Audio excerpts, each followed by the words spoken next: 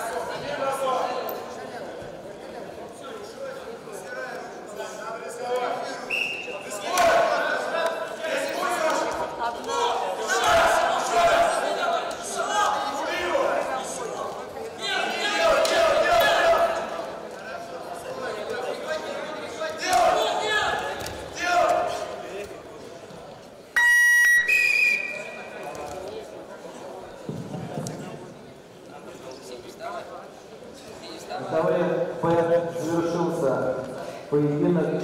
Попал победу одержал Полетов Семен Красавец и стал бронзовым призером наших соревнований.